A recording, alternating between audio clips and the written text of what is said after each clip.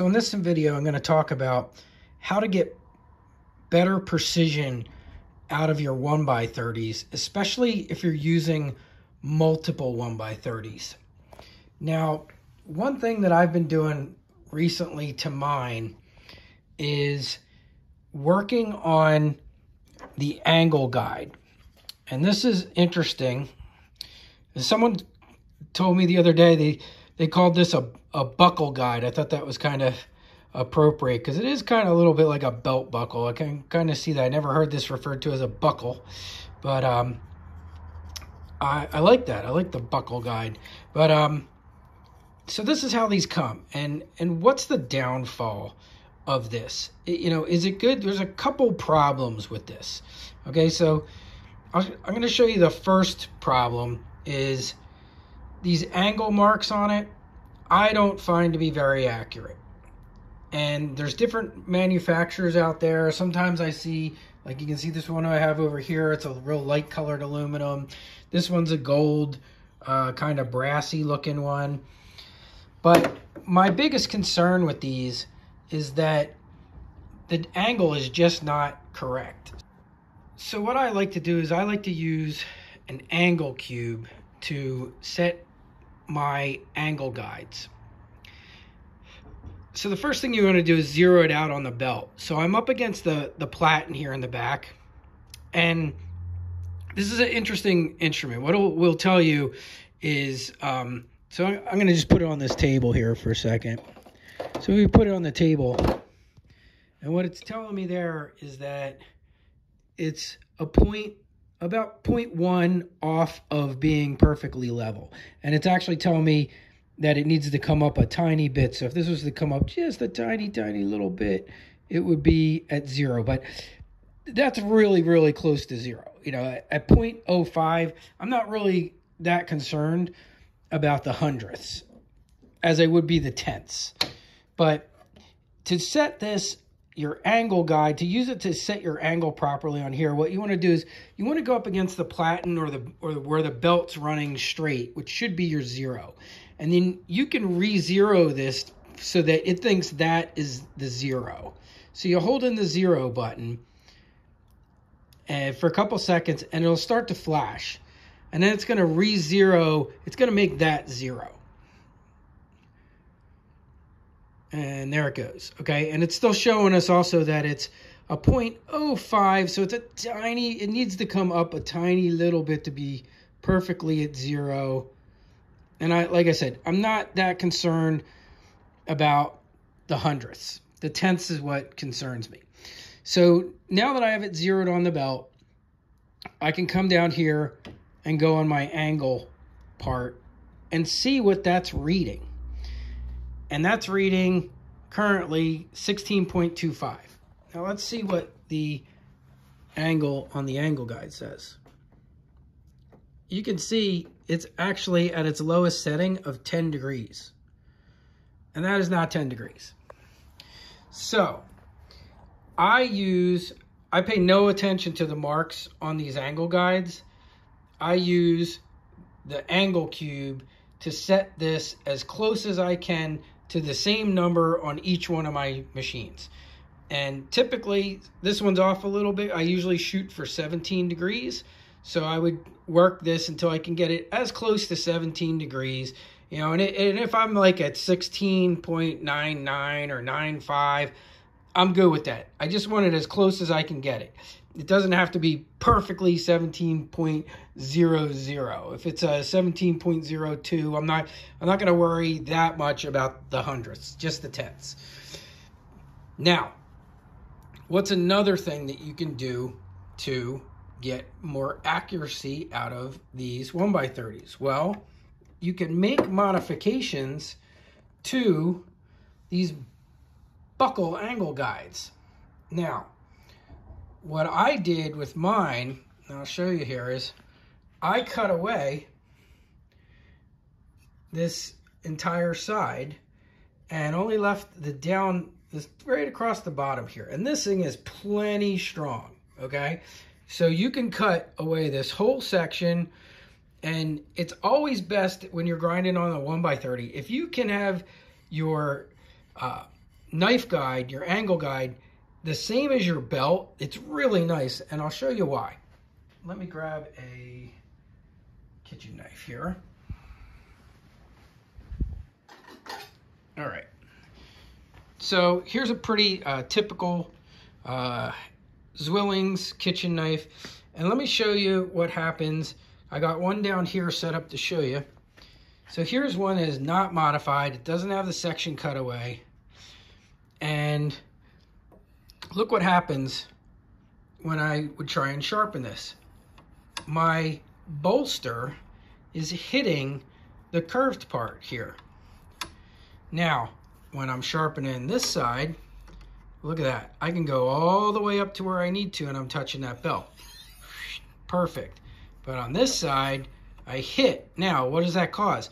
Well, you're either going to have to pick up and come up here and, and freehand it, which is never, you know, for some people, not great.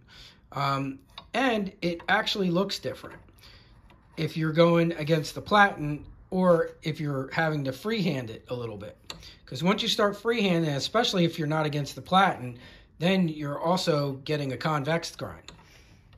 So what I like to do is I like to modify this even more by cutting away that outside edge. So you can see on this one, this is perfect same size as the belt. And look what happens. When I come to this side, I can grind all the way down to where I need to without running into that bolster. So you can take away a good portion of this and not have to worry about it. Now, what else do I do? I also grind these out so I can get the belt really, really close. Now let me show you how close mine is. And, and this is also, a lot of guys uh, are afraid of edge leading grinding. They only want to do edge trailing because they're afraid the belt's going to catch it and, and pull them in or grab their finger and stuff. But if you make the adjustment and grind away on these holes so that you can get the, this part of the angle guide closer to your belt, you won't ever, you won't slip in. Your knife won't, won't slip into that, that big gap, even if you're doing little tiny knives. So that will give you much more precision. Okay, so here you can see how much I ground out of the uh, top hole and I also ground the uh, bottom one also and I kind of rounded that off up top and that is what gives me the ability to get this angle guide so close to that belt. So I want it as close as I can get it without touching, but not having a big giant gap in there. And every one of these I have ever ordered has had way too big of a gap for what I like for uh, how close I want my belt and my angle guide.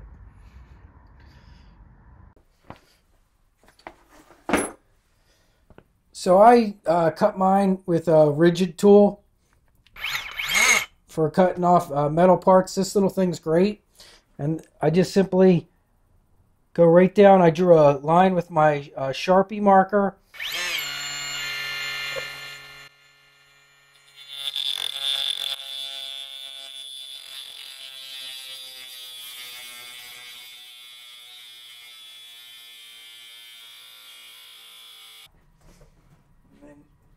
last time I did one, it was literally burning hot. Oh, yeah. So I'm glad I got gloves on. I can feel it coming through the gloves.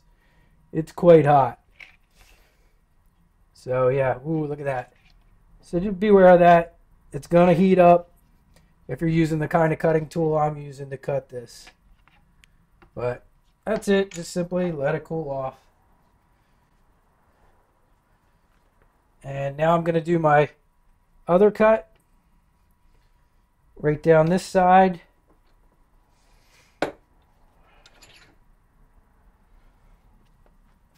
And I actually might uh, go off my line. My my drawn in line here is not perfect. It's not super straight.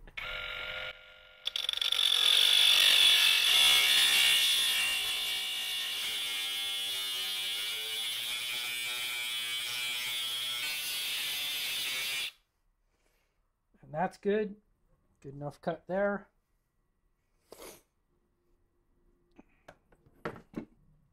All right, so now I just have this last little cut to make there, and then uh, i I finished it off by um, usually by using a Dremel tool on it and, and getting in there with some uh, finer stones and just just cleaning it up and making it nice and smooth.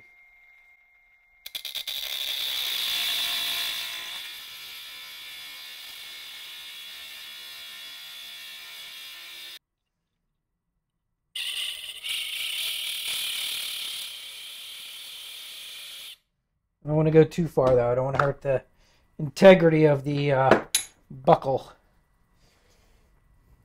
All right, so that looks pretty good. I'm going to grab me a pair of pliers.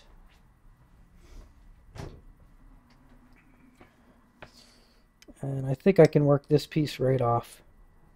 Let's see. Little piece. All right. And there we go. So there's our rough cut. And now we can actually clean this up on our on our 1x30. So I'll come over here to a 1x30. You could grind the uh, very tip down if you really want to be able to get it super close, which uh, can be nice. I'm going to do that on on this right here on the uh, Cubitron belt and the platen. And I'll show you that. Just gonna take a little bit off.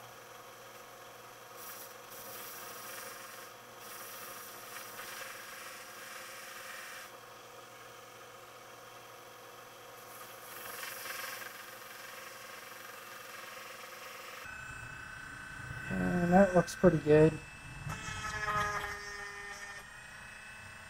Almost went a little too deep there. And I did that one uh, cut there. I'm glad I stopped when I did.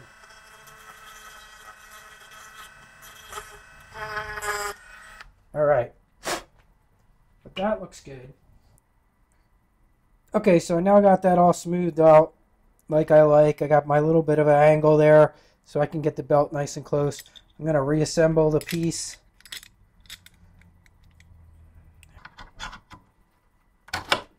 There's that. It's on there. Let's check it with the belt.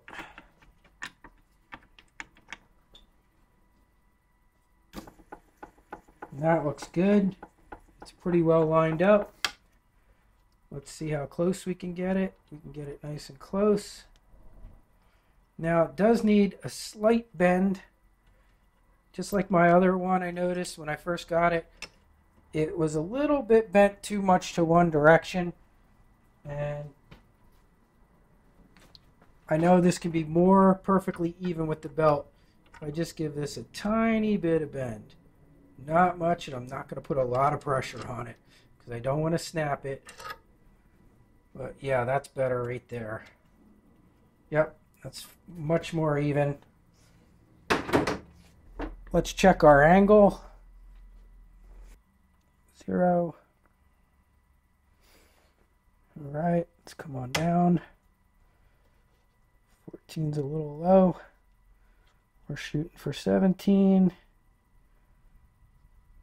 And I just, this is where I just make adjustments until I get it. 17.05 right there. So if I can tighten this, 17.05, that's good.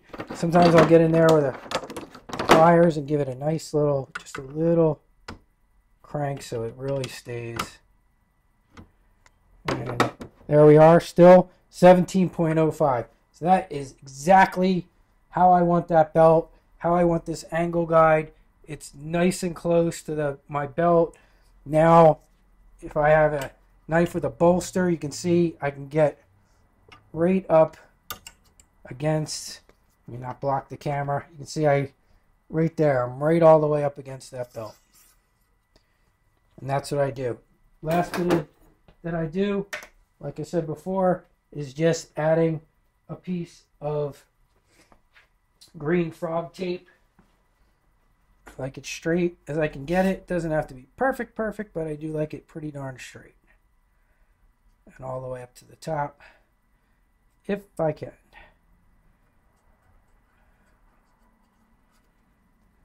And what I'll do is I'll just come here and cut it. And that's good. And that is done. And the last thing I'm going to show you to make grinding on the 1x30, and I actually do this to my 2x42 easier, is this green tape. And this green tape is called frog tape. And it's a painter's tape. But for some reason, frog tape is like one of the best painter's tapes. And what I have found is compared to 3M uh, blue tape, which I also use, usually for taping up knives and for uh, when I'm working on handles and things.